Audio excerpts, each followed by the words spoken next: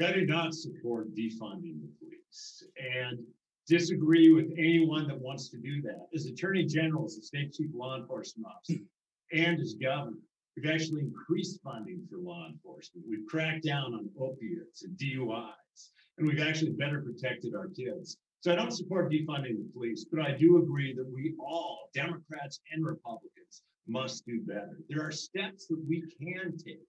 Things like everyone wearing body cameras, working on no knock warrants for drug cases, providing additional training along the way. This ought to be the moment that we actually make a meaningful change. So I do think that there's it's high time for some reform. And I say that as the state's chief law enforcement officer.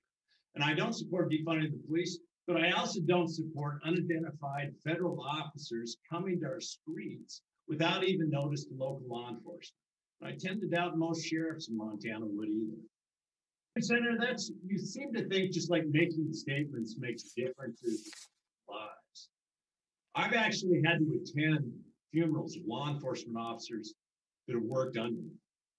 I've run the law enforcement academy as we've trained folks and sending them out. So again, you can't turn me into somebody that I'm not. You have to run against me, not somebody out of state. And I'll continue to fight for all Montana.